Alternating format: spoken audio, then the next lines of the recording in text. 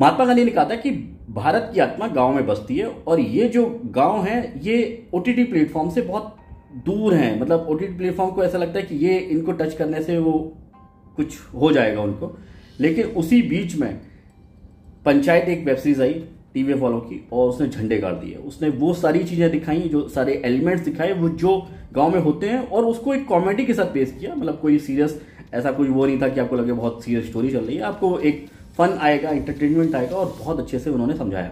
उनका season one 2020 में आया था कोविड के टाइम पे, वो एक हंसा के गया ऑडियंस को, लेकिन 2022 में जो सीज़न आया सीज़न टू वो आपको रुला के जाएगा। चलिए स्टार्ट करते हैं इसका सिनेमा रिव्यू इसको डायरेक्ट किया है दीपक कुमार मिश्रा ने, जिन्होंने पहला सीज़न डायरेक्ट किया था। बहुत ही अच्छा डायरेक्शन था। सुबह से लेके जो स्टोरी जहाँ से छोड़ी थी, रिंकी वाले एक पॉइंट से, उसको आगे बढ़ाते हुए लेके गए और काफ़ी सारी चीज़ों को उन्होंने इंक्लूड किया। और बहुत ही कसा हुआ डायरेक्शन आखिरी में जाके छोड़ते हैं, जिससे कि ऑडियंस को फिर लगे कि हमें सीज़न थ्री देखना पड़ेगा। और हाँ मैं आपको बता दूँ, इसके शायद पाँच सीज़न आएँगे। चलिए, बात कर लेते हैं दूसरा डिपार्टमेंट राइटिंग चंदन कुमार ने इसकी स्क्रिप्ट लिखी है, जैसा उन्होंने पहले सीज़न की स्क्रिप्ट लिखी थी। अच्छा है, काफ़ी सारे टॉपिक्स हैं जो रियल इश्यूज़ हैं, जैसे कि स्वच्छ भारत अभियान है, उसमें शौचालय का निर्माण है, लोग खुले में सोच करने ना जाएँ डीएम की ड्यूटी ये सारी चीज़ों को बहुत अच्छे से दिखाया और उसमें जो कॉमेडी का तड़का लगा है वो बहुत अच्छा है। मतलब ये सारी चीज़ें रियल इश्यूज़ हैं, लेकिन आप उसको ऑडियंस के सामने कैसे परोसते हैं, ये आपकी स्टाइल है। और ऑडियंस को उसमें मज़ा आना चाहिए। ऐसा नहीं लगेगा कि हम कोई बैठ के कोई डॉक्यूमेंट्री देख रहे हैं।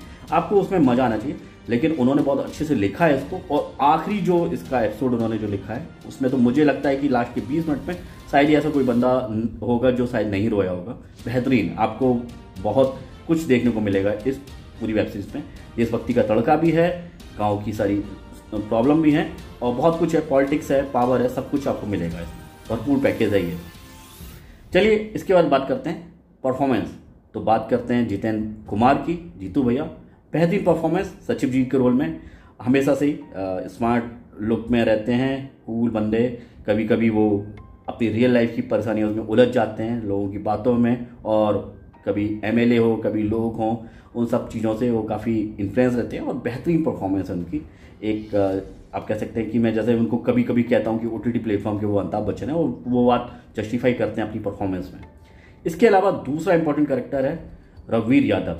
बहुत ही मज़े हुए खिलाड़ी हैं काफ़ी मेच्योर हो चुके हैं ये सब इस टाइप के रोल लेकिन जब वो परफॉर्मेंस देते हैं तो ऐसा लगता है कि वो रियल लाइफ को जी रहे हैं। ऐसा लग ही नहीं रहा कि कोई एक्टिंग करें चाहे वो एमएलए के साम, सामने वाला फाइट वाला सिचुएशन हो, चाहे वो अपनी वाइफ मंजू देवी से बात करें, बेहतरीन परफॉर्मेंस रहती है उनकी।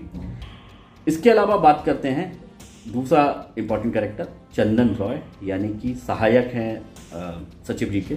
और उनकी भी जो डायलॉग्स हैं पंचेस हैं, बेहतरीन रहते हैं, बहुत अच्छे एक लिमिटेड अंदाज में हँसते हुए बोलते हैं और बेहतरीन परफॉर्मेंस रहती है उनकी हर बार। इसके अलावा एक और इंपॉर्टेंट कैरेक्टर फैजल मलिक प्रहलाद पांडे के रोल में बेहतरीन। उनका तो इसमें काफ़ी इंपॉर्टेंट रोल हो गया था और बेहतरीन परफॉर्मेंस दी उन्होंने।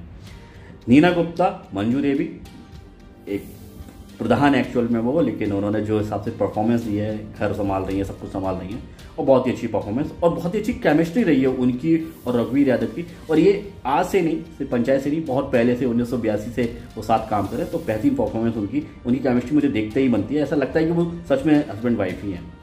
और सबसे आखिरी में बात करते हैं रिंकी यानी कि जो इंट्रोडक्शन था इस पूरे वेब सीरीज़ के लिए ख़त्म हुआ था सीज़न वन रिंकी से और स्टार्ट भी वहीं कहीं से होता है। सानविका थी रिंकी के रोल में बेहतरीन परफॉर्मेंस अच्छी लगती है। जिस हिसाब से उनको दिखाया गया और, और उनकी परफॉर्मेंस मुझे लगी वो अच्छी लगती है।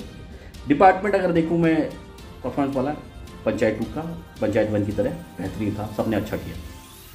एक डिपार्टमेंट और था सिनेटोग्राफी बहुत अच्छा कैप्चर किया है। अमिताभा सिंह ने पूरे गाँव को एक जो एक फील दिया जाता है गाँव में क्या क्या हो रहा है क्या क्या चैलेंजेस हैं लोगों के घरों में क्या हो रहा है वो सारी चीज़ें उन्होंने बहुत अच्छे से कैप्चर की हैं। बहुत ही अच्छा उन्होंने प्रेजेंटेशन बनाया है इसका। आपको पसंद आएगा। चलिए ये तो सब बात हो गई आ, सारे डिपार्टमेंट की। अब बात कर लेते हैं फाइनल रेटिंग की। तो मैं इसे देता हूँ। चार स्टार पाँच में अगला सिनेमा रिव्यू लेकर तब तक ये सतर्क हैं सुरक्षित रहें। मिठुन चक्रवर्ती जैसे दिखते हैं। कौन है? प्रधान जी की बेटी? बोला कि आप भी भविष्य में मेरी तरह दारूबाज बन जाएँगे। ले एक बार तो सच में टेंशन में आ गया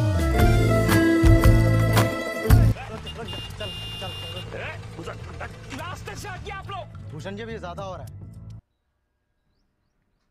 आपका वाला वीडियो भी बगल में ही है। रिंकी वो किसे हँसते हँसते पागल बोले हैं? जिस तरह से रिंकी को पागल बोले हैं उसी तरह से हम भी कभी कभी खुशबू को पागल बोले